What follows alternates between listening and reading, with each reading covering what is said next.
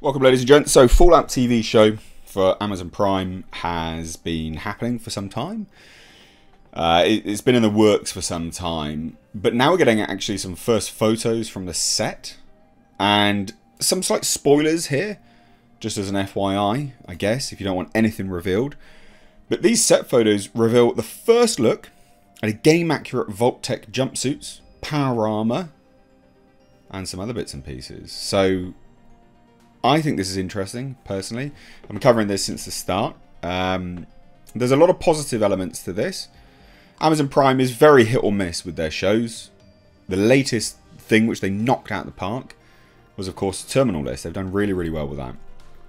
So, now, this article notes that it looks like the series has taken its cues from Fallout 4 or 76, something that was evident from a video that surfaced earlier this month, showing a live-action Super Duper Mart which you can also see below. I didn't see that actually.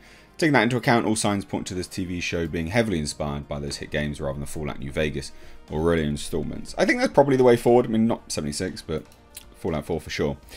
Uh, the logline for the show is The world of Fallout is one uh, where the future envisioned by Americans in the late 1940s explodes upon itself through a nuclear war in 2077. The magic of the Fallout world is the harshness of the wasteland set against the previous generation's utopian idea of a better world through nuclear energy.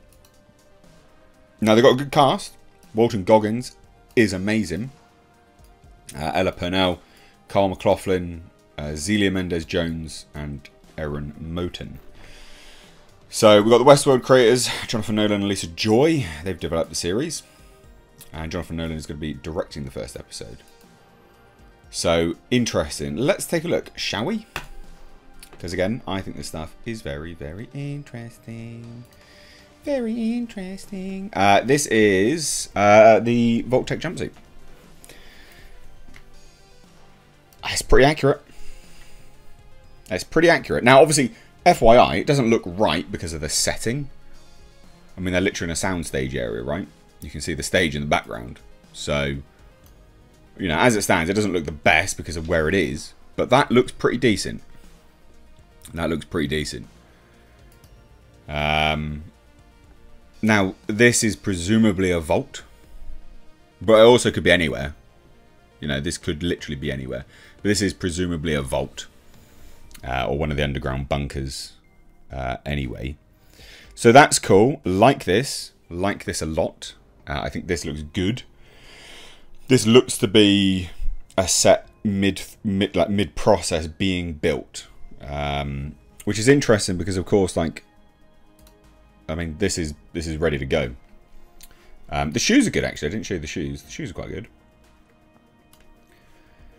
um, but yeah this is mid mid build process you can literally see someone in the back here and it looks like it's not fully dressed like there's elements at the top here that needs to be painted for brickwork by the looks of it because of the separation who knows but it looks pretty decent uh, keen to see how this comes together. Power armor. Oh yes, ladies and gents. So power armor from the top to the bottom. You can see more stuff down there. That looks sick. Doesn't that look cool? Now, a lot of people will probably look at that and go, well, it looks a bit too clean. I, I, I think, like, everything looks better, well, you know, lit for a, uh, you know, lit properly for shooting. So that looks cool. I think that I think the power arm is awesome. I think they nailed that. It's huge too. I mean, it should be. But I think they've nailed um, certain elements. They look to have absolutely nailed. Like that looks great. The thing about some of these shows are now is where you need to get to is basically can we look as good as some of the top cosplayers? Because the top cosplayers are the ones to emulate. Quite frankly, I think they nailed that.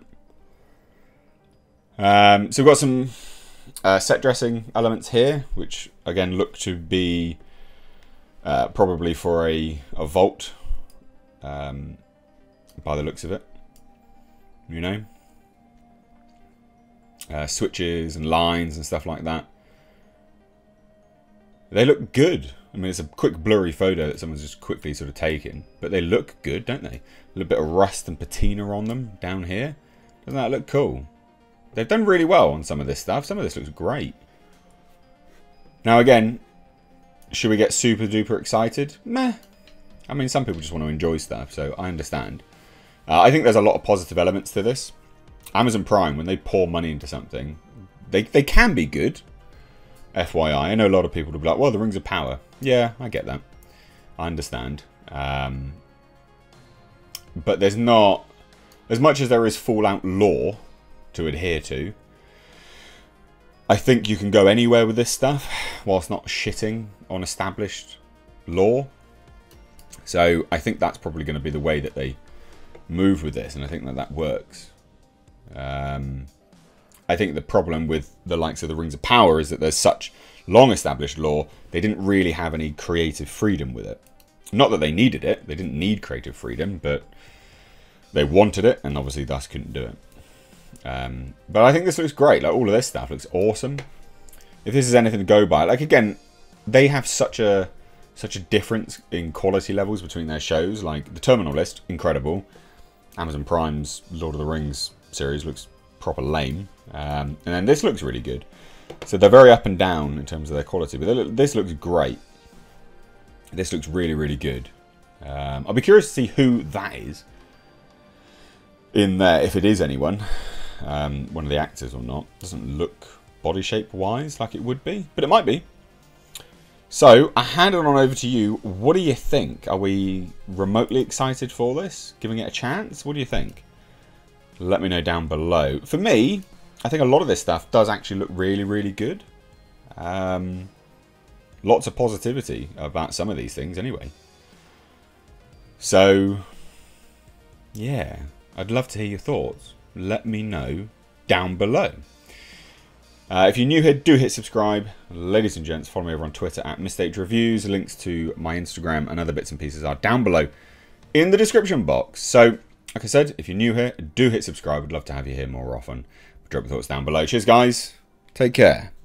Also, ladies and gentlemen, consider checking out my Teespring store. Supporting the channel via this way does go a long way. But also, not only that, you do get to wear some awesome merch. These are one-of-a-kind designs designed for me by my graphic designer. We, of course, have our Clown World line, which is uh, in mugs, hoodies, t-shirts. We've got Space Jeebus. Uh, and then for something a little bit different, we, of course, have right down at the bottom right here, we have our Pulsar GTIR.